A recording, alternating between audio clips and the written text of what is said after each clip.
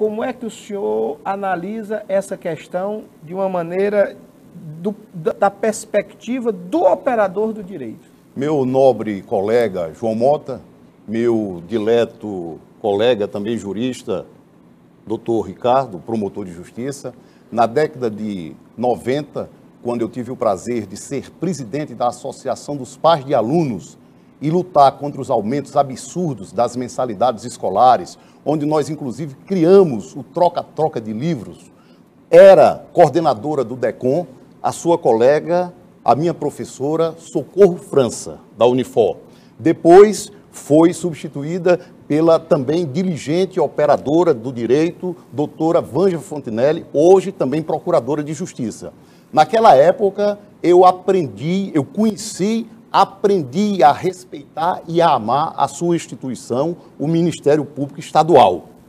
Mas, infelizmente, eu tenho sentido falta de uma atuação dinâmica, contundente do Ministério Público com o descaso que tem havido com a sociedade de Fortaleza, notadamente com o jurisdicionado no que diz respeito a essas ações do Tribunal de Justiça.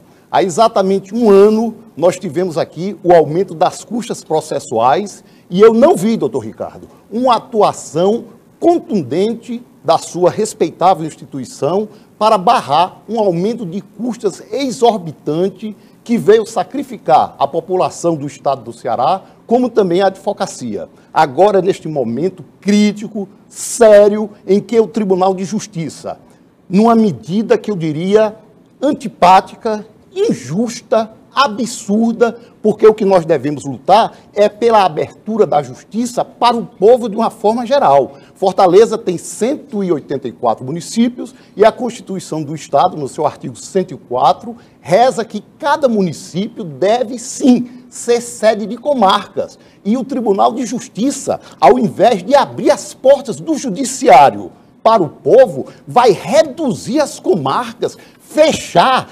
dificultar o acesso das pessoas. E cadê a ação do Ministério Público? Mas não é só o Ministério Público, João Mota. A nossa instituição também, a Ordem dos Advogados do Brasil, em que pese o esforço e o trabalho da sua direção, porque justiça seja feita. Hoje pela manhã eu me encontrei na Assembleia Legislativa com o presidente da OAB e com a vice-presidente.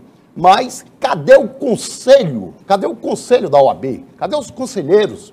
Cadê os conselheiros federais? Cadê os presidentes de comissão? Cadê a advocacia, a mobilização da advocacia dentro da Assembleia Legislativa nesse momento para impedir que os deputados cometam a maior injustiça do mundo com o povo do Ceará, que é o fechamento das comarcas? Doutor Luiz, vamos fazer o seguinte: vamos a um intervalo